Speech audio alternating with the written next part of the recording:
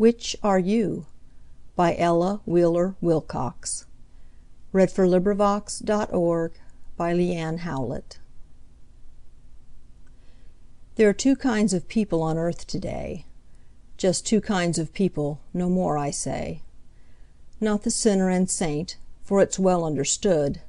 The good are half bad, and the bad are half good; Not the rich and the poor, for to rate a man's wealth You must first know the state of his conscience and health; Not the humble and proud, for in life's little span Who puts on vain airs is not counted a man; Not the happy and sad, for the swift flying years Bring each man his laughter and each man his tears; No, the two kinds of people on earth I mean Are the people who lift and the people who lean.